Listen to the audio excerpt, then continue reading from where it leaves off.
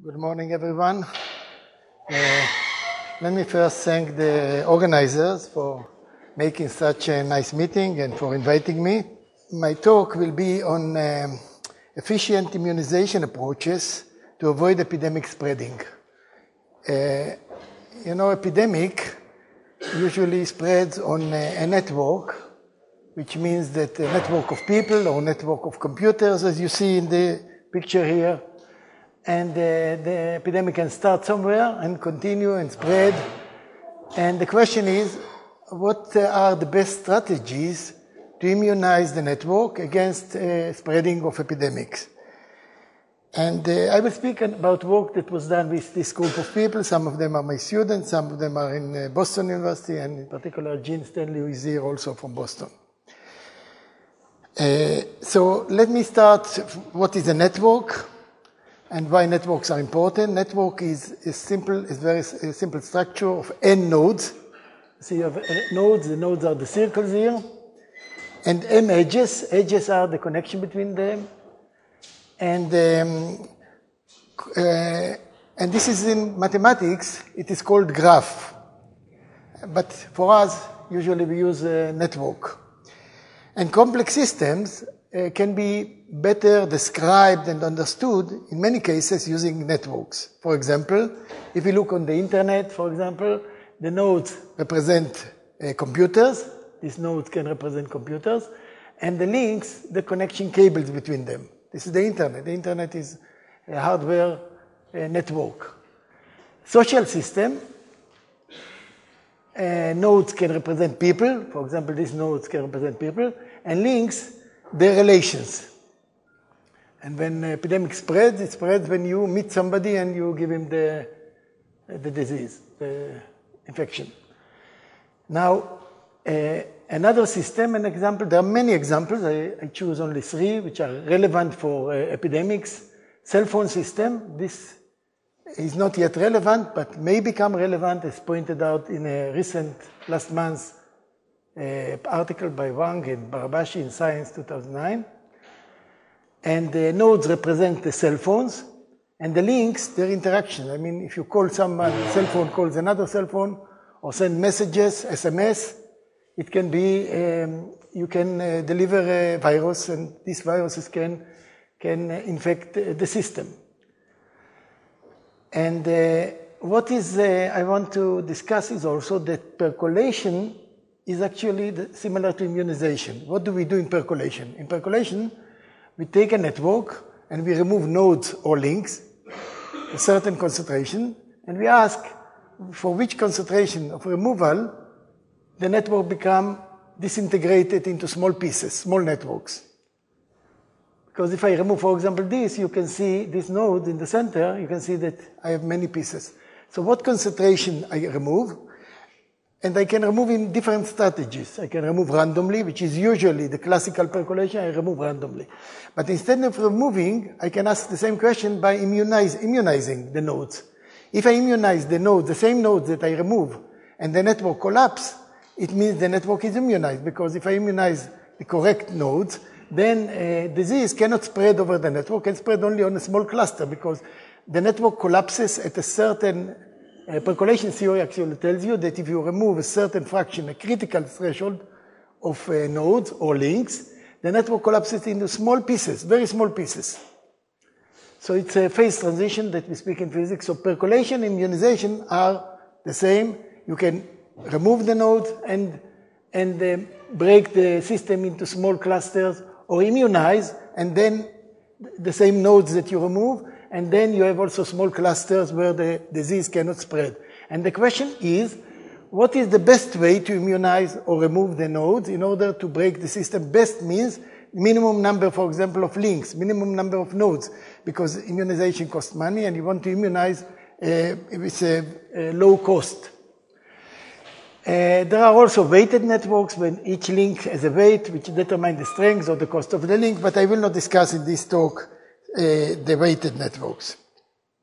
Now, I told you uh, this is uh, related to the paper of Wang and Barabási and his co-workers in Science 2000. They show that currently we are in the stage where the number of phones that share the same operating system is small, and that's why you don't have a percolation. Actually, if you look in the picture, this one is a, but it's not connected to this one because it's connected through other phones that do not have the same operating system. But once the share of the, the market in the smartphones will go higher, it will go a percolation transition, and then a virus that can start here, you see, can propagate all over the system. So there might be, this is the expectation, this is the prediction of the paper, there will be a, a virus epidemics like in computers. There is no reason why there will be more, more smartphones than computers. And since the, the smartphone can uh, have the similar operating, same operating system, you can send files and files with viruses, and then they expect in two, three years epidemic in a smartphone system, which will be very, uh, very, um, uh, I mean, very critical because we all use smartphones and small phones. So the question is how to, how to make, how to avoid these epidemics. What are the best way to immunize the system in order to, to avoid epidemics? So let me first give you an introduction about networks. Since the epidemics is on networks, we have to understand networks. What, is, what are networks? So there was, uh, in the last 10 years, there was some uh, understanding that um, the classical work of classical uh, model for network, which was studied by Erdős Rényi in the 1960s, is a, a, network in which you have nodes and you, you have n nodes and m links and you randomly connect two nodes by a link. And this gives a Poisson distribution for the degree, for the number of links per node. And, uh, and uh, this was solved very nicely by and Rényi in the 1960s. And there are many papers on this till the year about 1999. And uh, what was found also by Erdős Rényi and other Bollobás also is that uh, there is a critical threshold here, uh, which is if you remove uh, QC 1 minus 1 over K average, K average is the average degree of the node, then the network collapses into pieces. This is actually for us the immunization. If you immunize 1 minus 1 over k, QC is the number that you have to immunize. PC is the number that exists. So if you immunize QC, which is 1 minus 1 over k average, then you, you can rely on the network and, uh, and, and there is no, I mean, the uh, epidemics cannot occur on such a network. And they found also that uh, the distance between nodes on such a network, which is this distribution, which is the classical, as I said, is of order of log n. It means if you have n nodes, then you can reach, for example, the internet, if you have n, n uh, 10 to the 6 uh, computers, so you take log of n, 10 to the 6 is 6. So by six steps, you can send an email from one person to another anywhere in the internet, and it reaches each, it's the same. This is also called the six degrees of separation. This was the classical theory and the, and the nodes, we call the network homogeneous in the sense because every node has almost the same number of links because of the Poisson distribution. However, in 1999, it was initiated by Barabási and others, and uh, three computer scientists, Faloutsos, Faloutsos, Faloutsos, and they found that actually uh, the internet and other many, many other networks do not obey this type of distribution. So why is it important? Because the formulas, all the formulas that we have for PC does not work for such networks. And, uh, and the reason now we understand, because these networks are not homogeneous in the sense that not all nodes behave the same. They don't see the same neighborhood. Some nodes have few links, like this one, or like this one has only one link, but some nodes have many. This one has five, this one has ten, this one has uh, eight maybe. So, and, and they found that for many networks, the, there is a power law distribution for the degree distribution, which is, which allows to have large K because power law falls very slow compared to Poisson, which falls very dramatically. So large K is, is improbable in this type, but in this type, you can have also large degree like this one. And this is not only uh, um, uh, quantitatively different, but it's qualitatively different. It's a new class of network. It changed the universality class, and you find many anomalous behavior. For example, PC is not anymore 1 over k average, or QC is not 1 minus 1 over k average, but PC is 0 for such networks. It means QC is 1. It means, and for us it's very bad. If you want to immunize a population that behaves like this, you need to immunize almost all people in order to immunize the system randomly. If you immunize, you choose people randomly, you cannot immunize them. If people have a broad degree of distribution, as I will show you later, PC is zero, it means QC is one. So in, to immunize the system, you need. And this you can already see here, because most of the nodes have small degrees, you see. So if I immunize these nodes, I don't care. It, uh, the, it, the network does not break. On the other hand, because the network is controlled by the high degree, you see, this connect, but to immunize them is very low probability randomly to choose them because they are very little. Those high degree, they are very little, very few, and randomly you cannot reach them. And that's why PC is zero, QC is one. Another property which was found and very useful for this network, the distance is not log log n, it's even smaller. It's log, it's not log n, it's log log n. It's even order of magnitude, it's even smaller, log log n. And this is very important for uh, spreading of epidemics, spreads much easier to many, much more pop higher population and for searching, for many purposes. And uh, this is called ultra small world. And uh, this finding in 1999 led to many, many papers which show that there is a breakthrough in our understanding many problems in network that could not be understood before. So let me just demonstrate that the differences, I, am sure many of you saw this slide, but I think some people that did not see it maybe can learn something.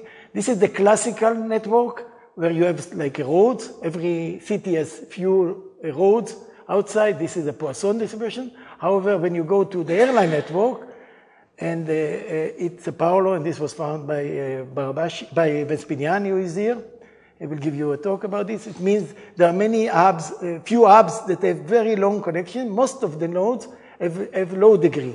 Small cities, they have only one, two flights, two connections, but some cities, very few, you see, have different. So this is relevant, and let me show you the difference is, is very important both in mathematics and in physics. In physics, usually we study lattices like this, which is similar to the Erdős-Rényi. Every node has almost the same number of links neighbors. Here, this, exactly the same. In Erdős-Rényi, it's almost the same. Almost the same is in the same class as the same. So these are like, Erdős-Rényi is like this one. However, complex networks are much more complex. They are very rich in structure. You see here, this is the WWW, power law distribution found by Barabási. And, and, and this brings to new statistical physics.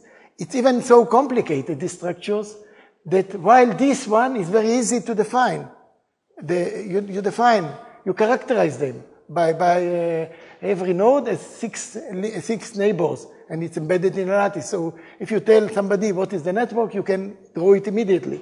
However, this, we don't have yet a fully character, we don't have fully characterization of the network. So we don't have even, we don't know what quantities characterize the network. It's so rich and so so, uh, and, and, uh, and we need even to characterize this. But it's uh, big challenges, and for example, the internet, you see the power law here, this was found by Faloutsos, Faloutsos, Faloutsos in 1999, and this is the power law degree distribution, which means many nodes have low degree and few nodes have high degree. And the same uh, for uh, airline network, as was shown by uh, and Vespignani in 2006. It's a nice power law also. So it's a very broad distribution. Actually, for me, I mean, for the purpose of my talk, what is important is not exactly the function of the, of the degree distribution, but more that it's broad. It's very broad. It means that you can have very different uh, type of nodes, nodes that have low degree and nodes that have high degree. So what is different? Why it's very important for epidemics and for immunization? As I told you before, and this is taken from the book of Robert May, who studied very much uh, immunization threshold. How many you need to immunize in a city in order to stop malaria? So you can see 99%, if you randomly you choose the population of a city and you want to, to, immunize, to avoid uh, malaria, you need 99%. This comes from the fact, that's what we understand now, because usually when you immunize uh, people you immunize the low degree. There are many.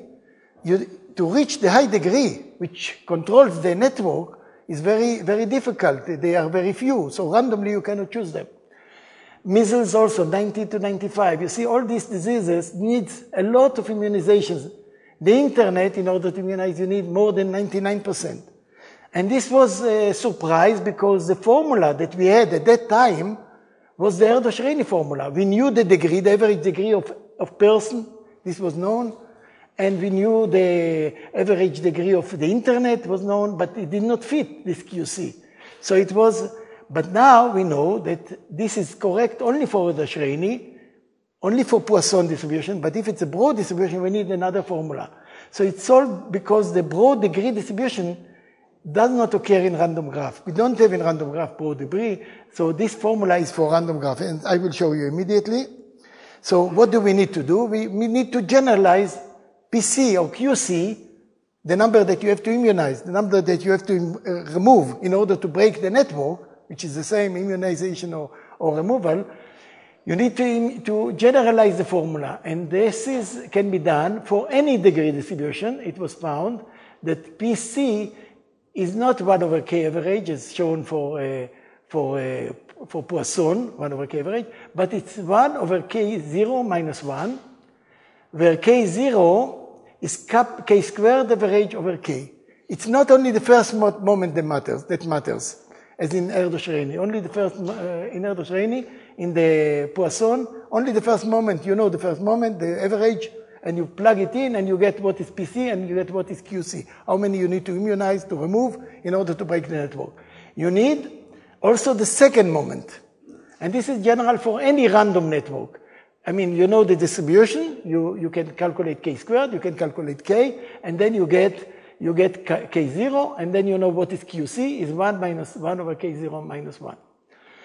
Indeed, this is general, general we can see, because when we take Poisson distribution, Poisson distribution, k squared is no, you can calculate, is k average squared plus k, divided by k average.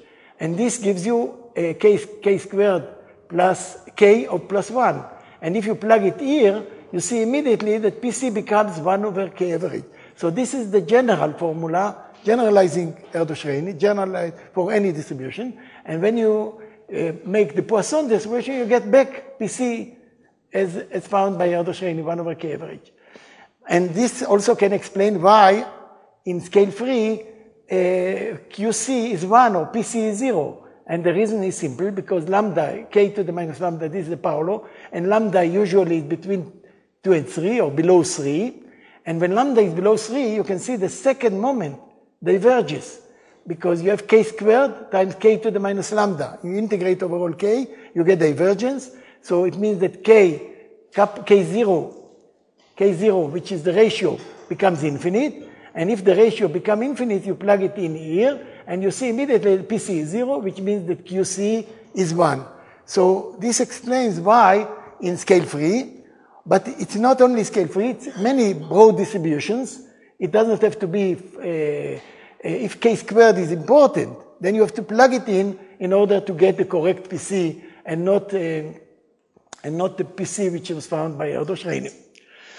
So, uh, but so this is a little frustrating because we see that PC is zero, QC is one. So it means that we need to immunize everyone in order to get, to get the network immunized. So uh, such immunization thresholds are very expensive and sometimes impossible due to lack of immunization doses. So you need to do a lot. So now I want to show you that percolation theory can help us to make efficient strategies. And one efficient strategy you can immediately see is simply, instead of removing, instead of immunizing randomly the network, if you immunize random, you always, you will choose always the nodes which are low degree, most of them, because you see, usually 99% or more are the low degree, so you choose them. But you see here, the high degree, if you remove them or immunize them, the network breaks. You immunize the high degree, then the network. So this is one of the suggestions to how to immunize good the network. Take the highest degree, highest degree, the second highest degree, the third, and already three nodes, the network immunized. If the disease starts here, it cannot propagate through the immunized uh, nodes, and then it cannot, so whenever it starts, it cannot uh, continue to propagate. So high degree node, which we call targeted high degree, is one of the best, one of the good methods to immunize. So I want to show you some efficient immunization strategies. One is high degree, targeted. And let me show you compare targeted to, to on scale free, targeted to random. Random, as I told you, you need to immunize 100%. And this is done for a system of 10 to the 6. I think it's finite system.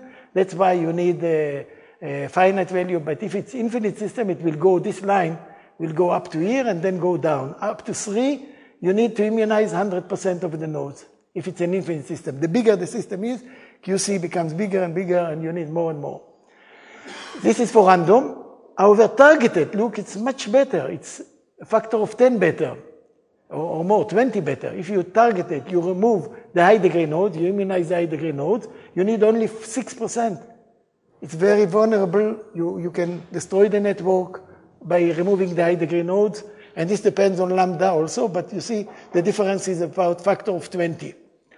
But in order to know the high degree node, in order to immunize the high degree, you need to know them, and not always you know them. So how can you make strategies in which you, you even if you don't know, you can still improve the, the, the immunization? So the method that we showed in this paper was called acquaintance immunization. What does mean acquaintance immunization? You, you take randomly people, but you don't immunize them, you immunize their friends. Tell me one of your friends. That's all. And then when you immunize their friends, then it drops from 100%, it drops to 20%, already much better. But this is the case where you don't know the high degree. If you don't know the high degree, you just, you don't know the network, you don't know the, you just take acquaintance immunization and it drops by a factor of five here. Now, if you want to improve it, you immunize only uh, people that were pointed by two friends. I mean, if two friends point to this, then you immunize them. Then it drops farther and farther. You can improve it, but you cannot reach the targeted, which is very good uh, immunization. So this is order two, means two. This you can show uh, analytically and you can prove it. Uh, you can see it also here. If I, if I choose this one, and I tell him, show me my friend. Usually this is his friend only. So he will give you his friend and then you immunize them. But this is typical in scale-free networks. But this is not only, um, so these are the efficient immunization and these are the random. So but this could not be done in the old networks. In Erdős Rényi, there is no efficient immunization. All the nodes are almost the same. So there is no meaning almost for a, a very efficient immunization. Let me show you, for example, here. This is uh, when you apply the, the SIR model, and uh, this is the recovery infection rate. The recovery time is one. Then you see also that QC for random is very high. This is for a system of 10 to the 6 nodes, very high for lambda 2.5. And when you take the acquaintance immunization, you see it becomes much, significantly much lower, a factor of uh, almost uh, 7 lower here. Here it's a factor of uh, can be 100 lower. And the same for 3.5. Look, 3.5 is not uh, so uh, is not so broad. It's less broad than 2.5 lambda. Lambda means here this, the, the case faster, but still you see the improvement of acquaintance immunization is very, very high. So, but acquaintance immunization is not only eff um, effective for scale free, but I can show you other broad distribution. For example, if you have two Gaussians distribution, one degree is 3 plus minus variance 2 or, or 8, and the other is 3 plus d, and d is a parameter. It means that d can be 0, then they coincide. You have only one degree plus minus. But d can be changing. And then you can see what happens here, what is QC. And you can see here that uh, if you take uh, the case of um, of, of this one, you see, this one is the case where the variance is 2, the, the full curve, and you can see QC is, uh, is very high. You need to remove, you see, even Gaussian, 2 Gaussian. This is, you need to, to, to uh, remove or to immunize very high.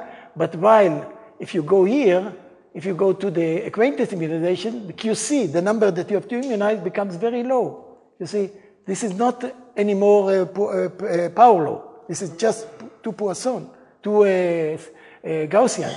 Even if D is zero, which means that you have only one, one uh, Gaussian, you can see there is a big difference. D is zero, you see also a big difference uh, in, improve. So even in, it works, the acquaintance simulation, even if, if, you, if you have a, uh, Poisson distribution or Gaussian distribution, and this is the mathematical framework for, for calculating QC for any degree distribution.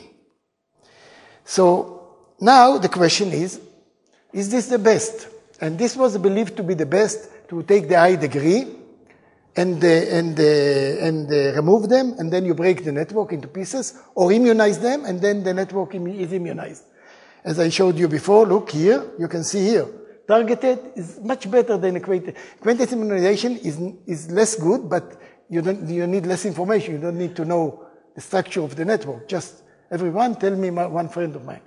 But for targeting, if you know, it's very good. And this was believed to be the best. And what I want to show you now, that there are better methods, even from targeted. Targeted means the high degree, then immunize, remove the high degree node.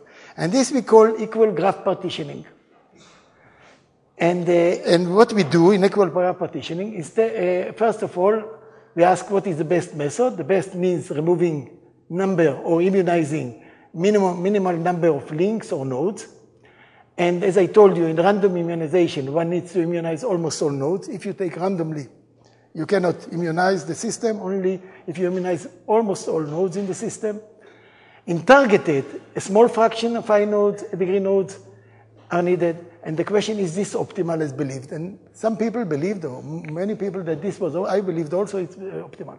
What we do in graph partitioning, in graph partitioning, what we do is a different strategy. Instead of immunizing or removing the high degree nodes, the red ones here, we, we break the network into equal clusters, equal clusters.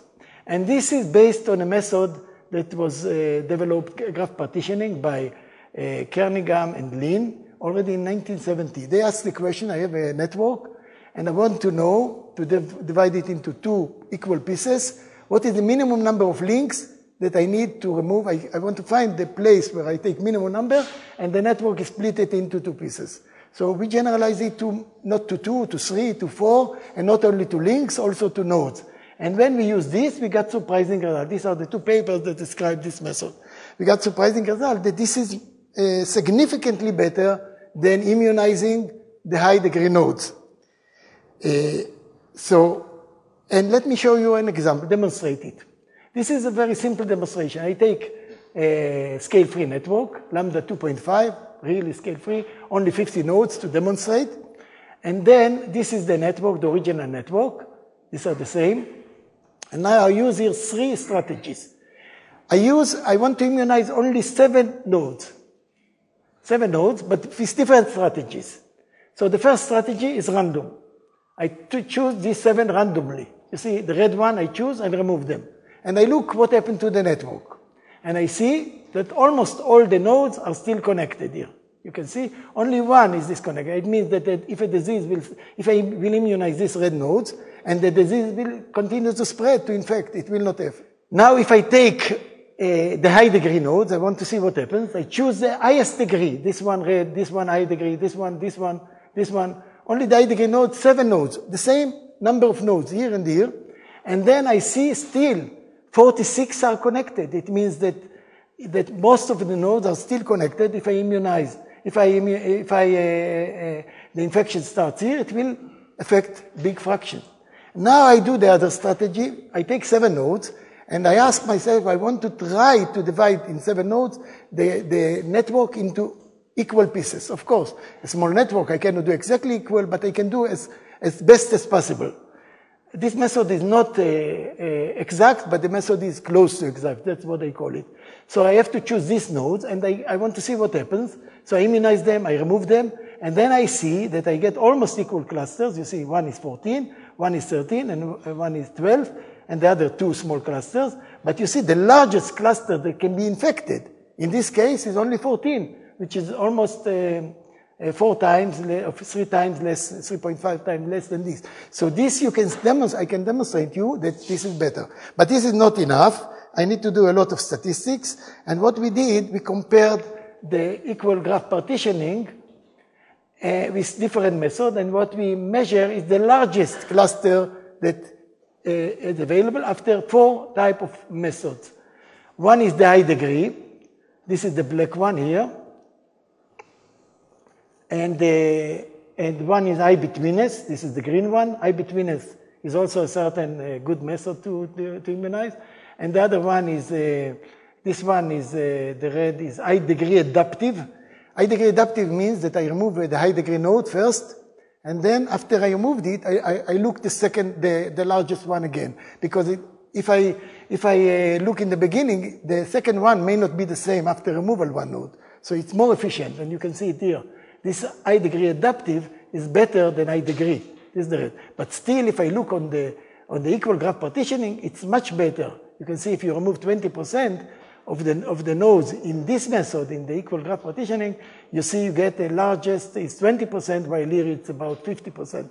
So it's much better, and this is done for random graph even, for workplaces, for scale free, and for the internet. These are two real networks and, uh, and two uh, model networks. So we believe that this is a very uh, efficient method to immunize when you know the structure of the network. Of course, you have to know and uh, for example, if you have a company, a big company, that you know who meets, which people meet with other people, so you know the interaction. You go to the other room, they meet, and then you can put the strategy and ask only a small number of people, smallest number of people to be immunized. And then, of course, uh, you can stop the disease in a very simple way. I don't have much time. I will go very shortly on another way of, um, of uh, percolation which uh, is important also for immunization. And this is called the LPP, limited path percolation. And the, the, the, the motivation for this is the following. When you make percolation, when you start to remove nodes or immunized nodes, the distances become larger and larger when you up to, when you up to uh, when you reach criticality, it becomes enormously large. I mean, you, because these nodes are shortcuts. They help you to make a shortcut. So the question is now, in many cases, like in combination, long pass are not effective. You don't want long pass. So in, in principle, if it's a long pass, it's essentially not connected. But in percolation, it's still connected with regard. And infection diseases flu decays over time. So if it takes time to, to, to infect, and uh, maybe after one week, then the flu is the case already. So you don't care if it will be infected after two weeks. And you want to know what is the number that you have to immunize, and until you get long paths which are already not effective, not important, and also mutation of pathogen. So what we do is a percolation in which the path is limited uh, by a factor A times the old path. So we remove but when, and we only consider connectivity when the nodes I and J are connected smaller than A times. Let's say A can be 1.2, 20% more than the old. So you start with a network and you know the old path. And now you, you ask what is the, uh, the percolation when you assume that the old path is, uh, is, uh, is, is smaller than A times Lij. So let me just uh, show you first that the distances become very large when you remove. This is the distance as a real network. And you can see that the, the number of infection becomes, if you assume that, uh, that you can 20% or 50% more and, or, or 100% more, then it moves you, your PC much larger. And one can get a formula for PC, which is generalizing of uh, Erdős-Rényi. It means A is the parameter here, how much you allow the length of the pass. And this is the new PC which is uh, larger, it means that QC becomes smaller, you need to immunize less. And this is, it appears A here, when A is infinite, when you don't care about the past, this is the regular calculation, you get back 1 over cap, 1 over K. And this is, I think, I will finish with this. And let me just go to the summary and conclusions. Take home messages. First of all, real networks have complex topology, richer than studied earlier lattices and Erdős graph. These are classical and very simple topology compared to the real network. And that's why you get new laws, new scaling laws. Statistical physics tools enable to uh, us to, uh, we can uh, develop new efficient percolation immunization. As I told you, they are the same approaches like EGP, equal graph partitioning, and LPP. Equal graph partitioning, I told you, leads to a optimal way to immunization or disintegration in the network. Smallest QC, if you make the equal graph partitioning. And this makes sense also because in high degree, you get also small cluster, but you don't care the small cluster. You care that, that uh, the largest cluster will not be above a certain value. So you don't care if they are the same. So if they are the same, it's always optimal. And limited path percolation, which takes into account length restriction of useful paths, it, it's important for uh, epidemics and data transfer, and uh, it implies a new formula. So I think one can learn that one can do uh, from percolation theory useful and efficient immunization strategies. Thank you very much.